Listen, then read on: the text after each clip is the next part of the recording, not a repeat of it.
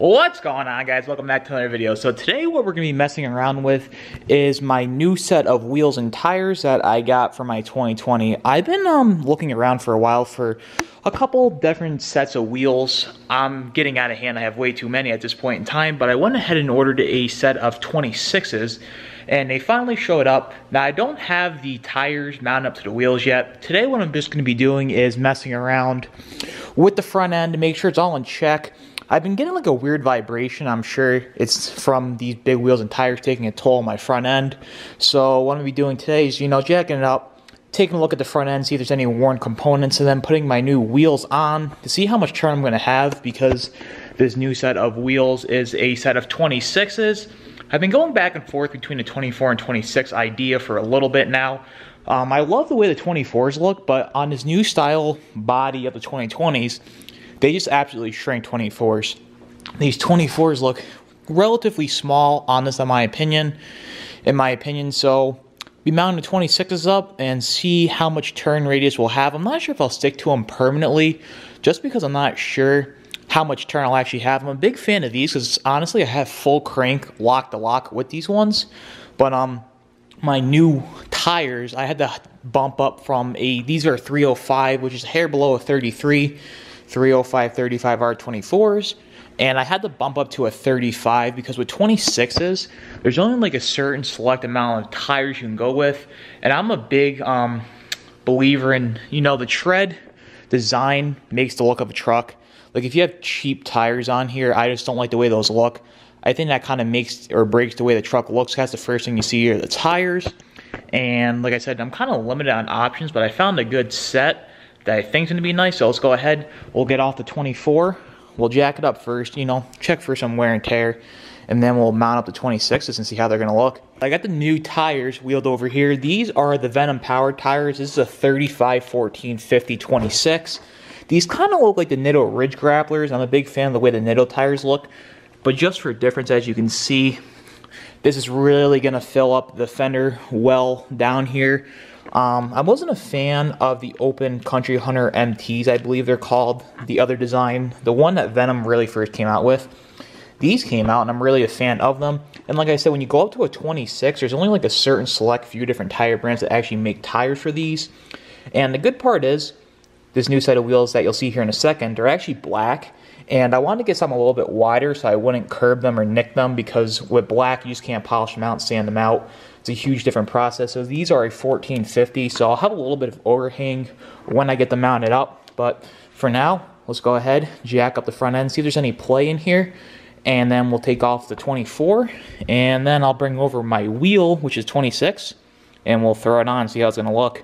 Okay, so we got it jacked up here, and it does have a little bit more play in it than I was expecting. As you can see, there's no up or down play, but side to side play. There's a decent amount as you can see. I'm going to try to do it right now. The tie rods look good. I think it's just the idle arm shot, but I do have the Kryptonite Death Grip tie rods that are going to be going on here in a couple weeks. But now it looks like I'm going to have to order the idler arm and pitman arm.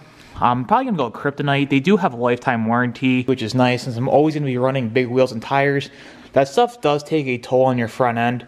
I was expecting some play, but that looks like it's totally shot, and that makes sense now why I have some type of vibration, but without further ado, let's go ahead and get this off, and we'll mount the 26s. Just gonna go ahead here real quick and bust off my lug nuts. As you can see how big my adapter is to get these off. So I'm gonna go ahead real quick, blast all these off, and we'll pull off the old Specialty Forged.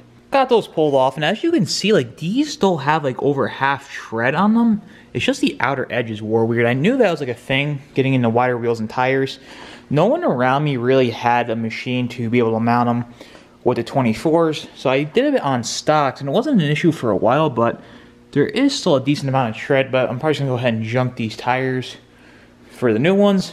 But let me go ahead here now, jack this up a little bit more because these 26s are a hair bigger, and then we'll get them thrown on. So I'm gonna try to show us a little bit better now that I got the um, wheel off.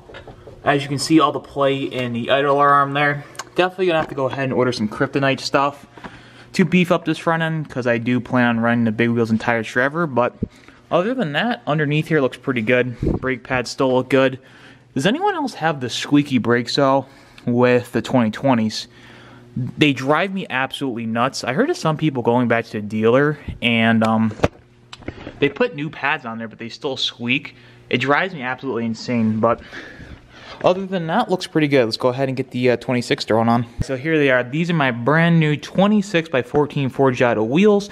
Don't even ask me how long you have to wait to get a new set of Forgiatos. They take forever. But um, right now, I kind of just want to get them mounted up on the truck, get them mounted on the tires, and see how they're to look. I do have some plans to get these powder coated. I already have some billet floater caps on the way from Cap King again, and my buddy already ceramic coated these with IGL Kenzo, which is the same coating that's on my truck. To just keep up on the maintenance. You can't really ceramic coat polished wheels. There's a long backstory behind that and why you can't. Do some research on it to figure it out, but I guess they're porous and the ceramic coating doesn't really last and you don't get the shine out of it like you do on black material, but I'm gonna go ahead here right now, get it thrown up on there. So they got them thrown on, I'm sitting here thinking, why didn't I do 26s way sooner? These things really fill out the wheel wells a lot more than the 24s did. The only thing I'm getting really kind of concerned about now is turning. I had full lock-to-lock -lock turn with 24s, like I said, but with these, the valence and the cab's gonna be a problem. I was rubbing slightly if I took a turn like super fast, I did rub here a hair. The last thing I want to do is cut my cab. I'm not a fan of that and I won't be doing that. Like I said, I kind of just want to get these mounted up for now and see what I'm dealing with. I was really hoping to have them mounted up this week for this video, but this week being Christmas and everything like that, a lot of people were closed and the guy that normally does my wheels wasn't around this week, so hopefully next Monday or Tuesday, I will get these mounted up and thrown on for next week's video. Really curious on how they're going to look.